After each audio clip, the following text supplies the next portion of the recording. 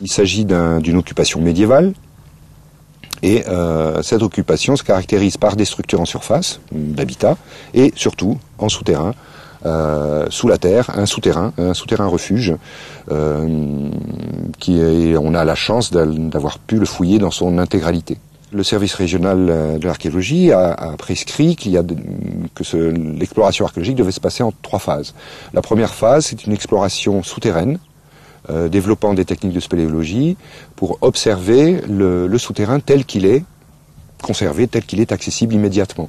La seconde phase, c'était l'emploi de pelles mécaniques pour décaper la surface, pour pouvoir fouiller les structures euh, d'habitat euh, à, la surface. Et enfin, la troisième phase, c'est l'ouverture par le dessus du souterrain pour pouvoir vider complètement les salles et avoir une exploration la plus complète possible du souterrain.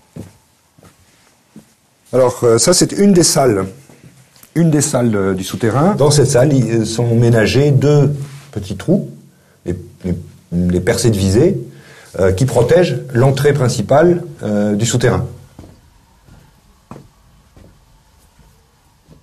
On est ici dans, les deux plus grandes salles euh, du souterrain. Celle-ci a une taille de à peu près 3 mètres sur 3. Mais ces deux salles ont quelque chose d'assez particulier parce que, en fait, quand on les a trouvées, elles étaient déjà complètement effondrées.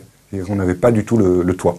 Euh, quand on a euh, terrassé, euh, vidé le remplissage de ces deux salles, en plus, on a eu la surprise d'observer qu'on était, qu'il y avait un, un, déficit de matière, c'est qu'il manquait en fait les blocs d'effondrement de ces galeries. donc la première hypothèse qui nous est venue, c'est que c'est peut-être des salles à ciel ouvert.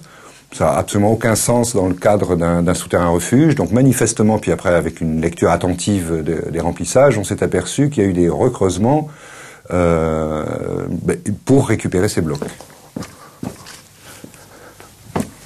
On peut dater effectivement l'abandon du souterrain et son comblement, ce qui est assez particulier du reste, son comblement intentionnel de cette période-là, hein, de fin 14e, début 15e.